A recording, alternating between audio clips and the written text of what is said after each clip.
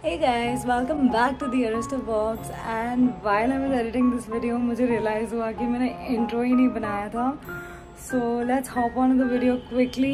It's a recipe video after a very long time और मैंने आज मसामन करी बनाया है मतलब आज नहीं मैंने पहले बनाया था तो let's get into the video. इसके लिए जो भी इंग्रेडिएंट्स चाहिए, मैंने यहाँ नीचे लिख दिया है तो आप पॉज करके देख सकते हैं क्या क्या है। इनकी इमेजेस भी डाल दिए है सो दैट आपको कोई कन्फ्यूज़न ना हो। और फिर भी हो तो प्लीज़ कमेंट सेक्शन पे कमेंट कीजिए। ना कम लेट्स मेक दिस हमें चाहिए थोड़ा जीरा कोरिएंडर सीड दालचीनी, इलायची garlic onion ginger lemon grass Kashmiri लाल मिर्च और थोड़ी सी पानी। इसको मस्त तरीके से एक पेस्ट में बनाइए। फिर एक तवे पे घी लीजिए, लौंग और तेज पत्ता इसको मस्त गर्म होने दो।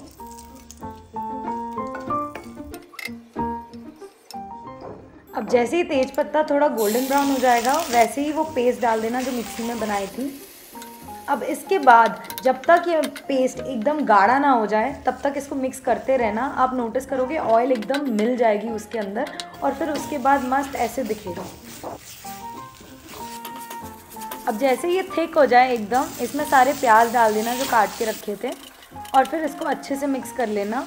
थोड़ी सी पानी डाल लेना तो जो तवे पे भी चिपकी होगी, वो सब भी आ जाएगी एकदम अच्छे से। और उसको मिक्स करते रहना, अब सारे मसाले डाल लेना एक के बाद एक।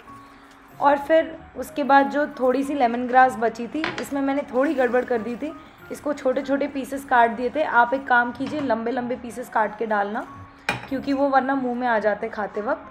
और फिर उसके बाद अपने सारे जो प्रोटीन आपको डालनी है चिकन या पनीर, वो डाल लो मशरूम डाल लो और फिर पालक डाल लो। पालक बहुत अच्छा फ्लेवर देता है और मशरूम तो वैसे भी बढ़िया होता है।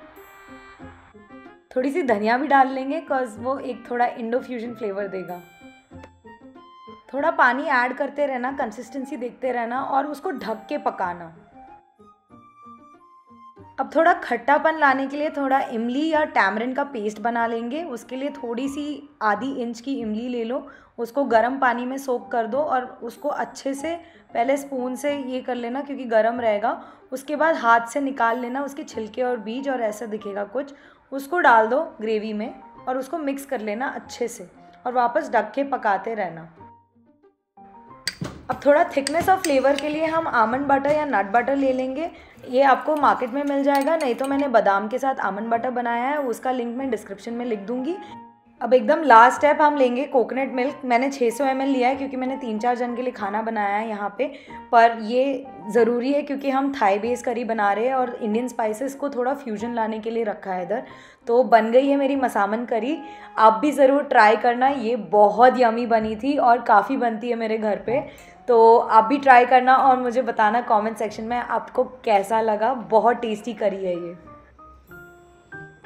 do try out this recipe it's a very simple recipe uh, one pot recipe have a huge dinner party and make this dish so if you enjoy this video please give it a big thumbs up and also please subscribe to my channel it will mean a lot to me thank you for watching love love